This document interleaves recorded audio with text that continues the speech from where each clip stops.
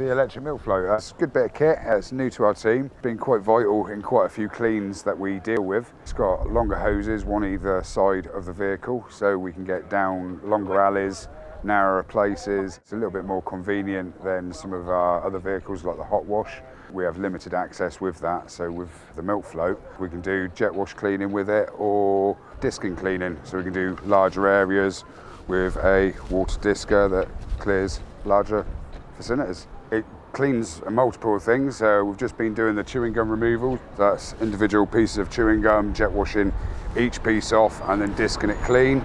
There's so much we can do with it. It's multi-versatile, like alleyways, enclosed spaces. It's, it's all accessible with that bit of kit.